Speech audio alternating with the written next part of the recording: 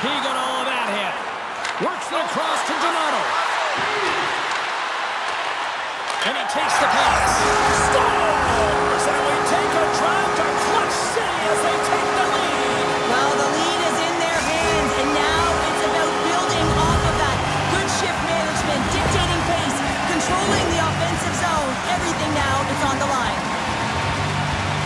Play does not happen without that beautiful pass, James. It's all about reading where the coverage is and knowing exactly how your teammate can skate onto that puck. And when you skate onto it, you have some speed. You can get that shot off the way you want, and he capitalizes perfectly.